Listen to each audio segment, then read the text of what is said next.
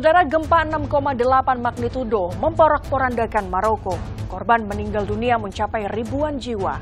Bangunan rusak parah, akses di sejumlah jalan pun terputus, hingga layanan listrik dan komunikasi rusak total.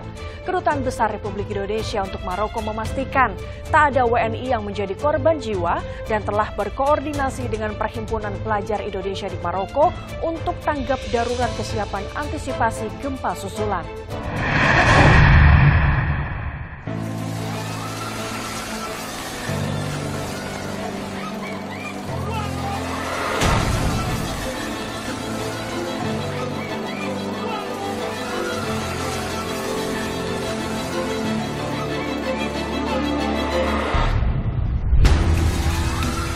Jelang tengah malam waktu setempat, gempa hebat memporak-porandakan Maroko.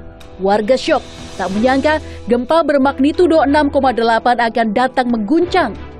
Gempa ini merupakan yang paling kuat melanda Maroko sejak 120 tahun terakhir.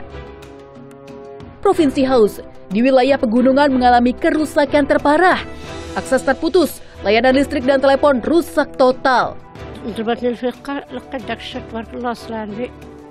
وزعما انه باش نهرب وطاح عليا كان وليت نعست هكا تا جا ولاد الجيران مساكن كيسمعوني كنغوت ودخلوا وجا هاد السيد تا هو الله يخلي لهم صحتهم وجاو الدراري كيجبدوا داك الشيء كلشي تحيد وكلشي داك داك التراب اللي عليا خرجوني وجابوني على هاد الناس Hingga selasa siang waktu Indonesia, dikutip dari laman kompas.com, Kementerian Dalam Negeri Maroko mencatat 2.862 korban tewas, 2.562 orang alami luka-luka, dan ribuan bangunan rusak.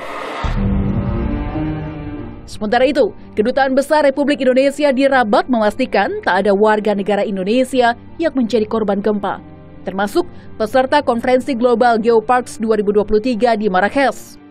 Duta Besar Indonesia untuk Maroko Hasrul Azwar menambahkan, pihaknya telah berkoordinasi dengan Perhimpunan Pelajar Indonesia di Maroko untuk tanggap darurat dan kesiapan mengantisipasi gempa susulan.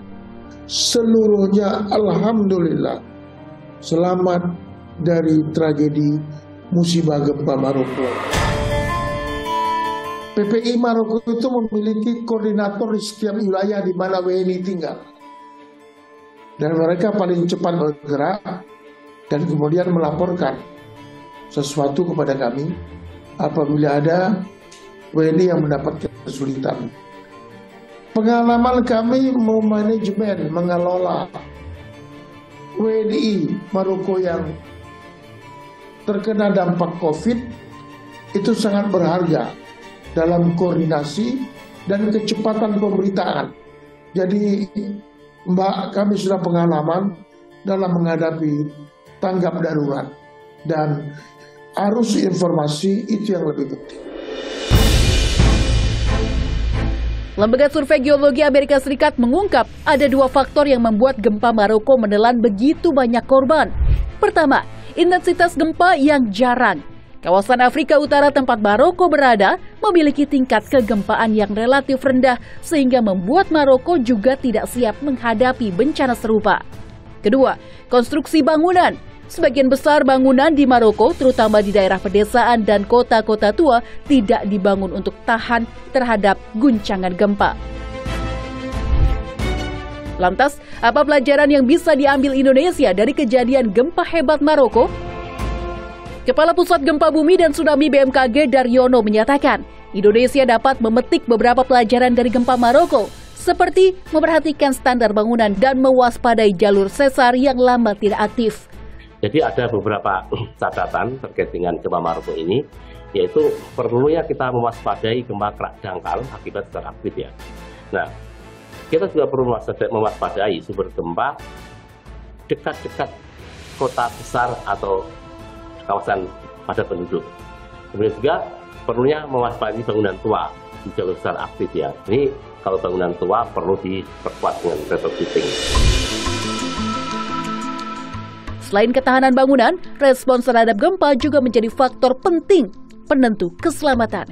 Karena itu, masyarakat diimbau untuk tidak panik dan lari, melainkan berlindung di bawah kursi atau meja kokoh.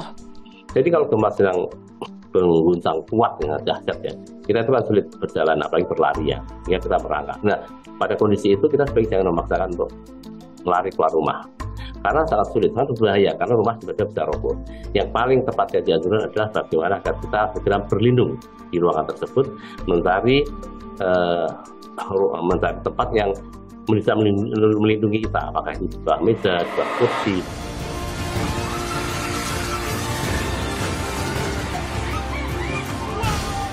Meski tawaran bantuan datang dari sejumlah negara, termasuk Indonesia, namun pemerintah Maroko hingga saat ini belum meminta bantuan internasional.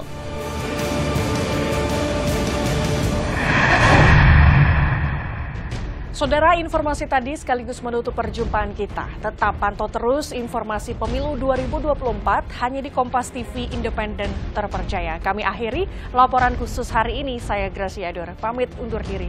Sampai jumpa.